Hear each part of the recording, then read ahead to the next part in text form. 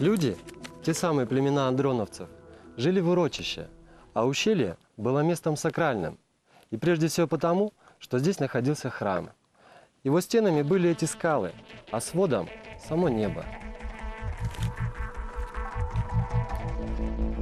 В таком храме могли проводиться различные священнодействия, например, обряды жертвоприношения. Исчезла жизнь и состояние, Всегда в движении, в пути, Лишь знать времени послания. Их смысл открываем мы.